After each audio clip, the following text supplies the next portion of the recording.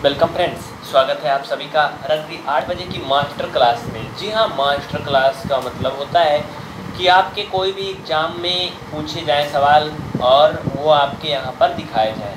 जी हाँ चाहे तो आप रेलवे की एनटीपीसी की परीक्षा के लिए अप्लाई किए हुए हैं C TET U P TET TET H TET J TET जे टेट कोई भी टेट की परीक्षा देने वाले हों या फिर आप SSC UP police army UP PCS MP PCS banking IAS कोई भी एग्ज़ाम देने वाले हों, कुछ ऐसे सवाल होते हैं जो उनसे रिलेटेड अक्सर आपके हर एक एग्ज़ाम में आते हैं। तो हम मास्टर क्लास में उन्हीं टॉपिक को शामिल करते हैं जो सभी के लिए इंपॉर्टेंट होते हैं। याद रखें, हर दिन रात्रि आठ बजे से मास्टर क्लास देखिए, सवाल क्या है और टाइप क्या होगा? कुछ इस तरह के सवाल आपसे पूछे जाते हैं जो आप काफ़ी इसमें ज़्यादा उलझ जाते हैं।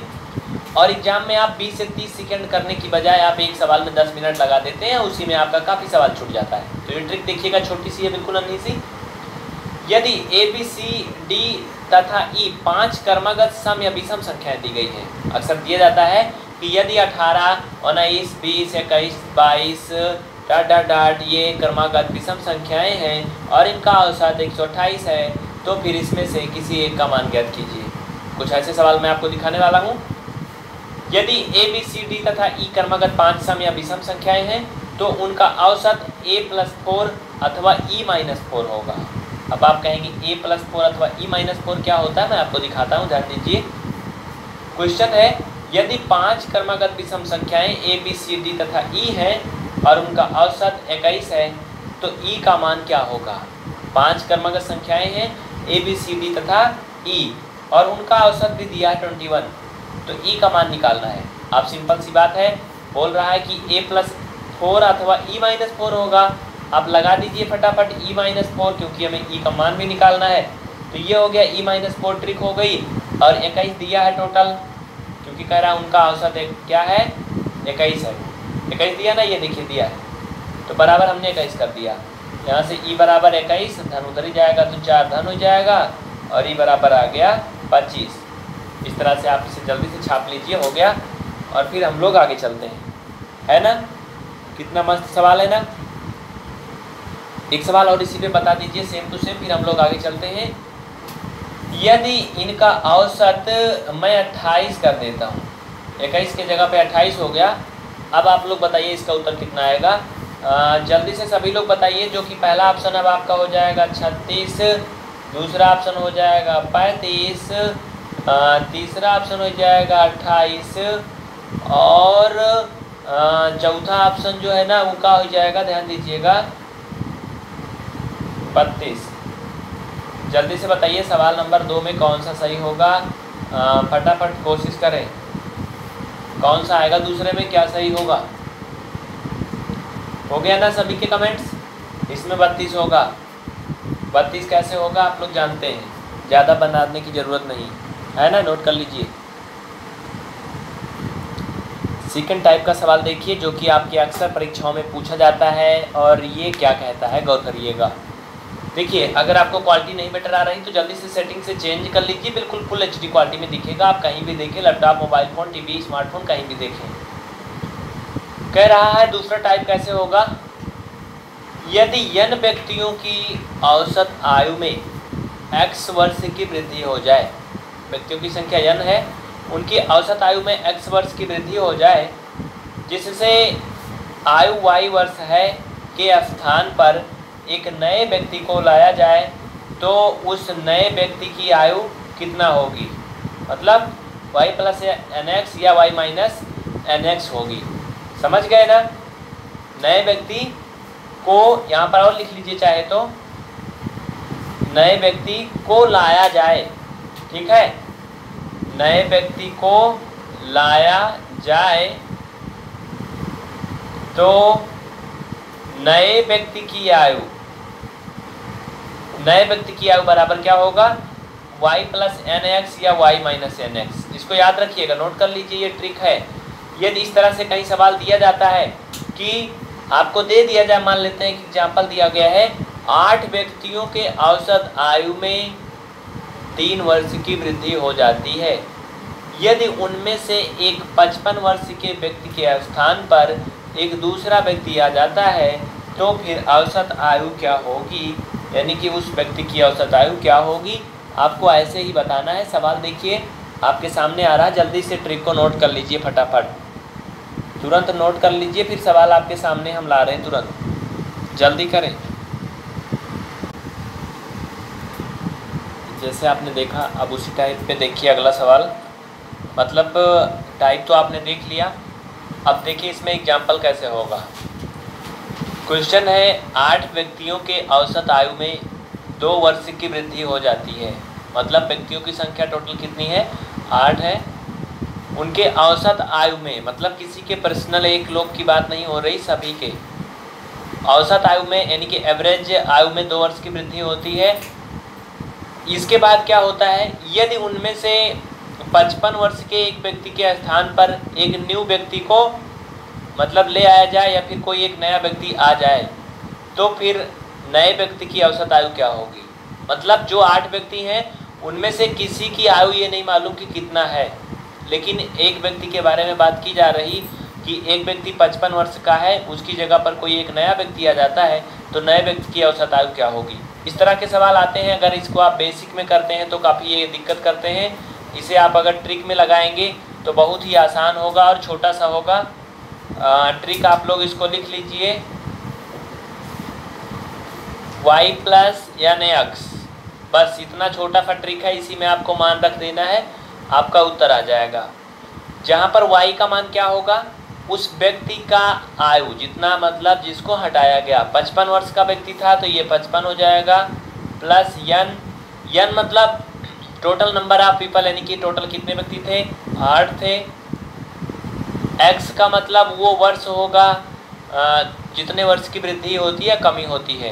तो ये हो जाएगा यहाँ पर दो। इस तरह से आप इसे जोड़ेंगे तो ये हो जाएगा सोलह।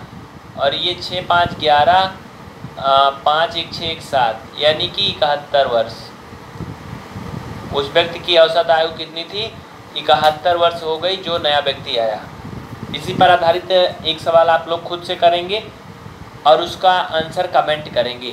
ध्यान दीजिएगा, आप लोग जल्दी से फटाफट बताएँ। दूसरा सवाल, आधा मिनट के अंदर बताइएगा। ये इस टाइप का पहला सवाल था, इसी टाइप का दूसरा सवाल। अगर आठ व्यक्ति की जगह हम दस व्यक्ति कर दें तो उत्तर में बिल्कुल थोड़ा सा फ़र्क पड़ेगा। आप लोग जल्दी से कमेंट करके बताइए फिर इसका आंसर कितना आएगा। ऑप्शन पहला आपके सामने है बहत्तर वर्ष, तिहत्तर वर्ष, पचहत्तर वर्ष या चौहत्तर वर्ष। जल्दी से बताइए। क्या? इसमें पैंसठ वर्ष आएगा। कैसे? हाँ आठ की जगह पे जब ये दस हो जाएगा, देखिए अभी पैंसठ नहीं होगा। तो आप लोग जल्दी से कमेंट करें कितना आएगा। इसी में से कोई एक ऑप्शन सही है, पैंसठ नहीं होगा। देखिए, अब इसमें सिंपल सा है, आपको यन का मान दस रख देना है आठ की जगह पर, तब ये हो जाएगा बीस। जहाँ आप सोलह जोड़ते थे, वहाँ अब आप जोड़ेंगे बीस। और पचपन में बीस जोड़ेंगे तो सिंपल सा है कि सेवेंटी फाइव वर्ष आएगा, पचहत्तर वर्ष।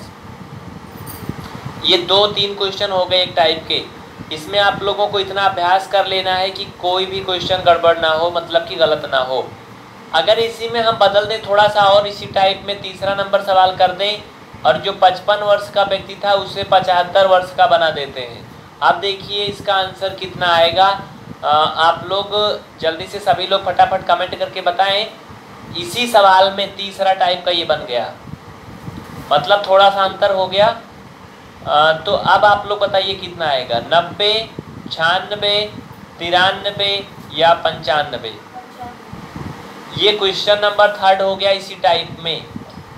ये नहीं ज़रूरी कि परीक्षा में आपसे ऐसे सेम टू सेम पूछ लिया जाएगा। किसी भी टाइप का आ सकता है कोई भी नंबर आ सकता है। अगर वृद्धि की जगह पर कमी बोला जाएगा आयु में दो वर्ष की कमी हो गई तो आप यहाँ माइनस लगाएँगे ट्रिक वही लगाएँगे। तो ये कितना हो जाएगा? वाई का मान जितना वर्ष का वो व्यक्ति है, पचहत्तर वर्ष। यन मतलब total number of people x मतलब कितना वर्ष की बात हो रही है। आप जोड़ देंगे सेवेंटी फाइव में जब ट्वेंटी तो ये हो जाएगा नाइन्टी फाइव अगर आप इस तरह की ट्रिक लगाएँगे तो चाहे TET C TET R R B N T P C S S C कोई भी एग्ज़ाम हो, आप इन सवालों को 10 से 15 सेकंड में कर लेंगे। लेकिन हाँ ट्रिक मालूम होना चाहिए कि इस टाइप के सवाल में ये ट्रिक लगेगा। आपको यहाँ तीन लेटर यूज़ करना है बस।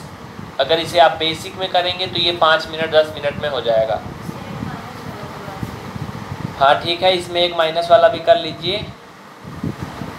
इसी में आप लोग एक माइनस वाला कर लीजिए। देखिए, ये अगर इसे आप देखेंगे तो ये अलग टाइप का होगा। अलग टाइप का क्या होगा? देखिए, अभी हमने आपको बताया कि दो ट्रिक इसमें होगी आपके लिए। दो ट्रिक में से एक ये होगी, y प्लस यन एक्स और एक होगी वाई माइनस यन एक्स अगर यहाँ पर आपसे बोला जाए कि दो वर्ष की वृद्धि हो जाती है तो आप प्लस वाली ट्रिक यूज़ करेंगे। अगर यहाँ बोला जाए कमी हो जाती है तो माइनस की ट्रिक यूज़ करेंगे। अब यहाँ पर वृद्धि की जगह पर आप लिख लीजिए, दो वर्ष की कमी हो जाती है। अब देखिए, सवाल वही है, लेकिन उत्तर बदल जाएगा। आप लोग आप जल्दी से बताएँ फटाफट इसका आंसर कितना आएगा? पहला ऑप्शन है पचास वर्ष, पैंतालीस वर्ष, पचपन वर्ष या नॉन ऑफ़ दीज ये इस टाइप का आपका चौथा है पांचवा सवाल जो भी नंबर है, डाल लीजिए अपने हिसाब से। देखिए, ये कमी वाला सवाल है, इसलिए हम एक क्वेश्चन हल कर देते हैं। अगर यहाँ पर कमी की बात होगी तो आप ये ट्रिक यूज़ करेंगे। सारे मान वैसे रखेंगे सेम टू सेम जो भी आपने रखा था, वैसे ही रखेंगे। तो ये seventy five minus twenty equal आएगा फिफ्टी फाइव वर्ष नोट कर लीजिए, ये सभी सवाल हो चुके हैं। लेकिन बार बार दो वर्ष की ही कमी या वृद्धि क्यों हो रही है? चलिए, एक सवाल और इसी में बनाते हैं। सेम टू सेम ऐसे ही नंबर छठा सवाल। दस वर्ष का जो व्यक्ति था, चलिए इसको ऐसे रहने देते हैं। पचहत्तर वर्ष भी ऐसे रहने देते हैं।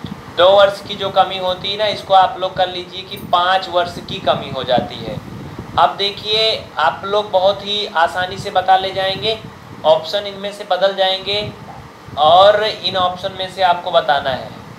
पंद्रह वर्ष, अठारह वर्ष, पच्चीस वर्ष, या पैंतीस वर्ष, या फिर नॉन ऑफ़ दीज अब बताइए, पाँच वर्ष हो गया जहाँ पर दो वर्ष था, बाकी सब कुछ वही का वही है।